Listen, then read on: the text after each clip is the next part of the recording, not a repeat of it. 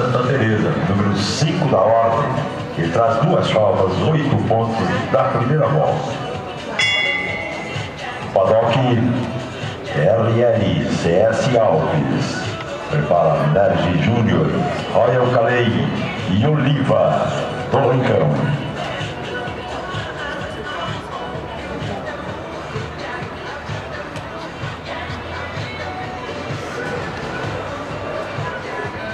vou ter que sentar depois.